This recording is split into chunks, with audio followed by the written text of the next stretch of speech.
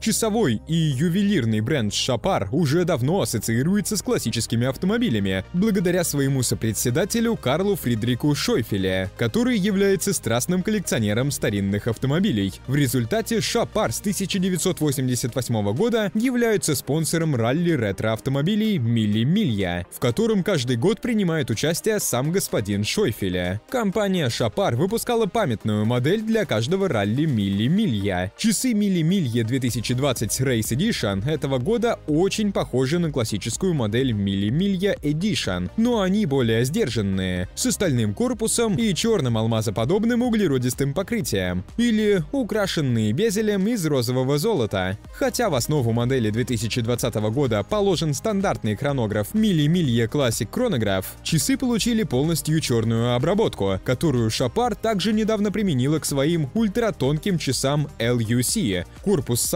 алмазоподобным углеродистым покрытием сочетается с циферблатом приглушенных цветов, который так же, как и стрелки, был подвергнут пескоструйной обработке для получения матовой зернистой отделки. В результате общий облик получился более гармоничный и ясный. Модель этого года выглядит более современной, чем многие предыдущие выпуски хронографа Мили Милья, многие из которых были одеты в яркие гоночные цвета, такие как зеленый или красный. Благодаря темной отделке корпуса модель выглядит немного меньше, что является плюсом для относительно больших часов. Но хотя часы выглядят хорошо и выпущены ограниченным тиражом, их цена немного завышена – 6700 долларов за стальной корпус и еще 1700 долларов за золотой безель. В обеих моделях установлен модульный механизм ETA2894. Для сравнения, две недавно выпущенные версии часов с одинаковым механизмом BR05 Chrono с более сложным корпусом стоит примерно на 10% дешевле, в то время как Longines Heritage Tuxedo стоит вдвое дешевле. Ралли Мили Милья или 1000 миль, впервые проведенные в 1927 году, являются одним из грандиозных событий классических автогонок. Первоначально это была автогонка, но после нескольких смертельных аварий в конце 1950-х годов она была преобразована в ралли. Сегодня в мероприятии могут принимать участие только классические автомобили, выпущенные до 1957 года, что делает его одновременно и ралли, и галереей лучших в мире старинных автомобилей.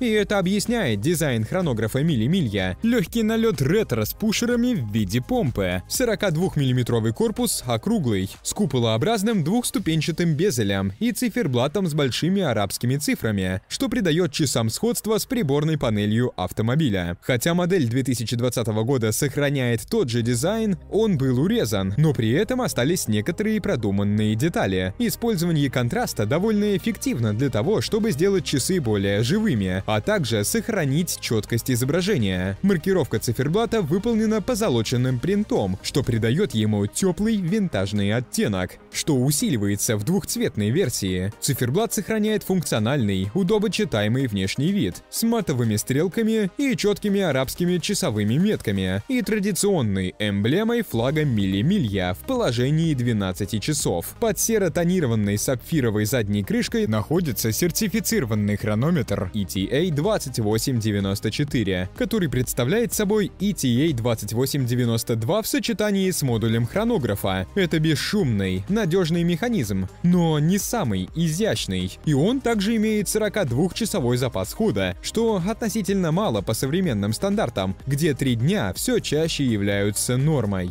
Диаметр 42 мм, толщина 12,67 мм, стекло Сапфир. Водонепроницаемость 50 метров. Частота 28 800 колебаний в час. 4 Гц. Ремешок. Ремешок из кожи теленка черного цвета с резиновой подкладкой. Ограниченная серия. 1000 штук из стали, 250 из стали и золота.